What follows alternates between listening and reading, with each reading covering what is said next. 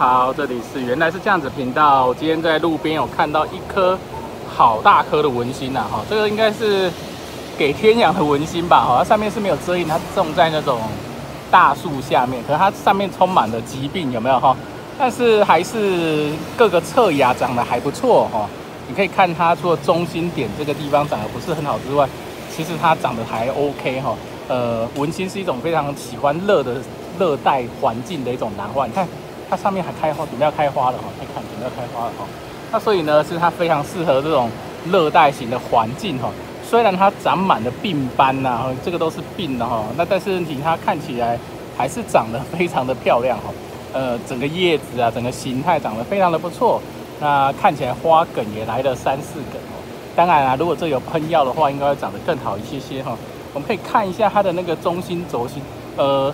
文心它有一种特殊的长法，它是长侧芽，有点像类似侧芽这样长出来哈。所以你看它是这样长侧芽、侧芽、侧芽出来哈。那文心跟我觉得它的环境啊，喜欢呃喜欢热哈，喜欢湿哈，喜欢热跟湿的环境。但是太潮湿的状况下，它很容易得软腐病哈，这个要注意哈。我南我文心种的不多，只有种几颗而已哈。那这种比较偏向原种型的文心的时候，记得哈，它很怕闷哦哈。很闷，一闷就很容易得病哈。那尤其是如果你在室内很不通风的环境下，非常容易得奇奇怪怪的疾病哈。我们看一下它的叶子，整个都是病斑哈，这种都是呃哦，还有介壳虫哎，你看这还有介壳虫，但是它还是生命力强大的，活得很好哈。所以其实你看这种原生种的文心兰，它非常耐耐疾病哦，非常耐旱哈。因为通常在这种树上的文心兰，通常会。呃，非常的干燥的环境下，可能会长得不是这么好。可你可以看，看它整体环境长下来还不错，非常漂亮哈。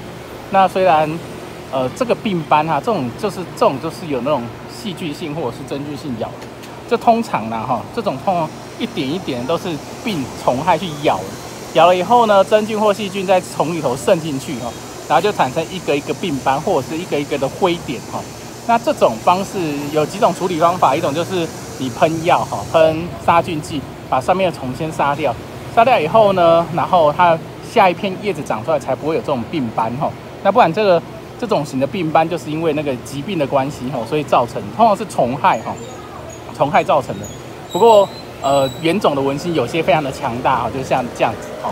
你看，明明病得这么严重，它还是长得非常的漂亮，而且它很耐阳光哈。你可以看它叶子是只有部分的黄化哈，其实都长得还不错，并没有很明显的那个被烧焦的感觉哈。因为这个很明显它是长时间已经被种在这里好几年的状况下，它已经整个趴到树上去了哈，整个趴到树上去。那中心点有一些些死掉，但是其实大部分都还好哦，都还好。你看它上面已经堆了很多那个很多树叶哈，表示它在这里非常久的时间了哈。好，那这个应该就是。一颗很简单，让老天养的文心兰哦，非常非常的特别。那它已经长到环到这边来了哦，非常非常大颗啊。这颗比较偏原种一些些，等一下偏原种一些，要等它开花以后才知道它有没有交配过哈。过一阵子如果它有开花的时候，我再来给大家拍一下，让大家看一下，它还是有死掉，有没有看？这个就是死掉的哈。那它还是沿沿着，它会通常如果前芽死掉，然后从侧芽长出侧芽苗出来。这个是侧芽苗哈，从这个的基部再长出来哈，所以每一个的文心兰有一个好优点哈，它的前芽死掉，它还可以从侧芽长出来，所以它有两个生长点哈，就这两个都是生长点之一哈，所以呢它比较特别，它不像有些卡多利亚一个芽点死掉以后，那一个芽点就死掉了哈，或者是蝴蝶兰的话，如果你单一芽点，它的顶部的顶生芽死掉以后，它就必须要长侧芽。来做繁殖哈，但是文心兰它可以从两边的这一个或是这一个旁边长出侧芽出来哈，所以它的繁殖方式是侧面走的，比较特别一些些哈。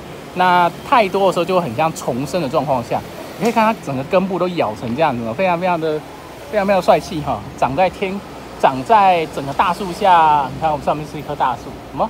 长在大树下的一棵文心兰哦。OK，那。我下一次如果等它过两天开花的时候，我们再来看一下它的花的状况哈。好，感谢您的收看，如果喜欢我们的频道，记得订阅跟分享我们哈。